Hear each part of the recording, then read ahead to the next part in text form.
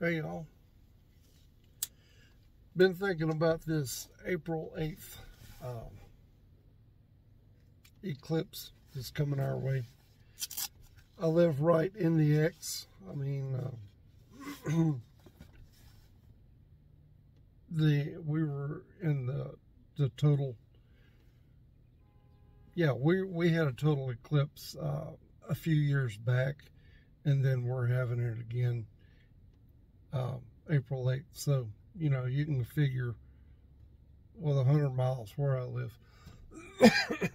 Excuse me.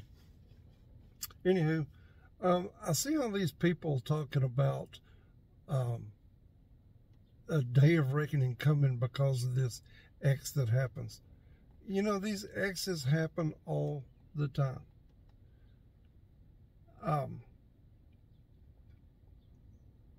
not necessarily in the states. They happen in the ocean. They happen in Europe. They happen in Africa. They just they happen. Um, so the fact that it's happening now doesn't mean anything. Yes, and I know Scripture says there's going to be signs in the sky,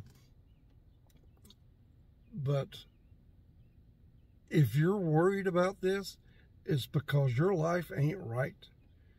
You need to get right with God, get right with Jesus.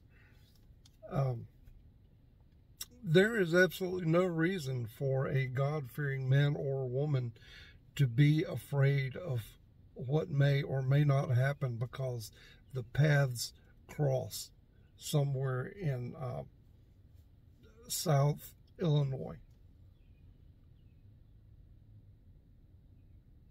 So if if you're having problems with these things, with these thoughts, you need to go out and find a good church, somebody that preaches the Word of God, not one of these churches that's got the, the rainbows and stuff hanging out front, because those are there just to make you feel good.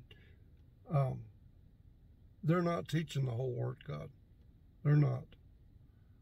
If they were, they wouldn't be flying rainbow stuff. But anyway, that's that's my thoughts on this stuff. Y'all believe what you want to. But um, have a good day.